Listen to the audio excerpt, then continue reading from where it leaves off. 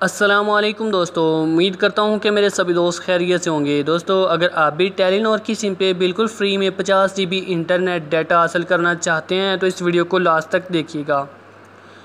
تو دوستو، آج کی اس ویڈیو میں میں آپ کو کمپلیٹ گائیڈ کروں گا کہ کس طرح سے آپ پچاس جی بی انٹرنیٹ ڈیٹا حاصل کر سکتے ہیں ٹیلی نور کی سم پہ۔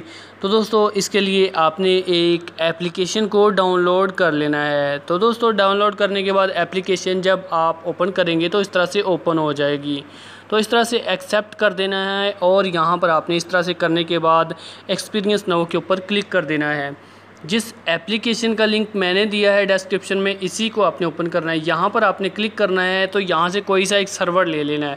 ٹھیک ہے، یہاں سے میں جاپان کو سلیکٹ کر لیتا ہوں۔ جاپان کے اندر اچھی سپیڈ آتی ہے تو جاپان کو یہاں کر آ کے اوکے کر دینا ہے آپ نے۔ ٹھیک ہے، تو یہاں پر آپ کوئی بھی سرور سلیکٹ کر سکتے ہیں جس پہ بھی آپ بہتر سمجھیں کہ اچھی سپیڈ ملے گی آپ بار بار چیک کر سکتے ہیں کسی بھی سرور کو۔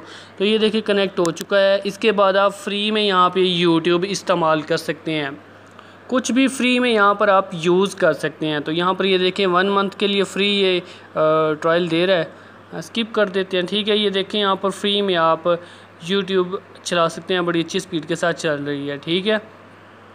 تو دیکھیں ڈسکرپشن میں جو لنک دیا ہوتا ہے نا دوستو، اس لنک پہ کلک کرنا ہوتا ہے آپ نے۔ جب آپ لنک کے اوپر کلک کرتے ہیں تو آپ کے سامنے ایک ویب سائٹ اوپن ہو جاتی ہے۔ بہت سارے دوست ہیں، ان کو نا وی پن ڈاؤن لوڈ کرنے کا نہیں پتہ ہوتا۔ دیکھیں اس طرح سے آپ کے سامنے نا سائٹ اوپن ہو جاتی ہے، یہ دیکھیں یہ میں تھوڑا سا سٹارٹ سے دکھا دوں۔ یہ دیکھیں یہ سائٹ اوپن ہو جاتی ہے۔ یہاں پر آپ نے آرام سے تھوڑا سا نیچے آنا ہے۔ تھوڑا سا نیچے آئیں گے تو یہاں پر یہ ڈاؤن لوڈ ایپ لکھا ہوا ہے۔ یہاں پر آپ کلک کرتے ہیں تو اپلیکیشن ڈاؤن لوڈ ہو جاتی ہے۔ تو جس اپلیکیشن کا لنک میں نے دیا ہے ڈسکرپشن میں، اسی سے ہی فری نیٹ چلے گا۔ اگر آپ پلے اسٹور سے یا کہیں اور سے اپلیکیشن ڈاؤن لوڈ کرتے ہیں تو آپ کا فری نیٹ نہیں چلے گا۔ تو یہ تھی آج کی ہماری ویڈیو۔ یار اچھی لگے تو لائک کر دیں، چینل کو سبسکرائب کر کے بیل آئیکن پہ پریس کر دیں اور آل کے بٹن پہ لازمی کلک کریے گا۔ اس کا فائدہ یہ ہوگا کہ جب بھی فیوچر میں کوئی نئی ویڈیو اپلوڈ ہوگی تو اس کا نوٹیفیکیشن سب سے پہلے آپ کو ملے گا۔ تو ملتے ہیں دوستو کسی نئی ویڈیو کے ساتھ۔ دوبارہ تھینکس فار واچنگ اللہ حافظ۔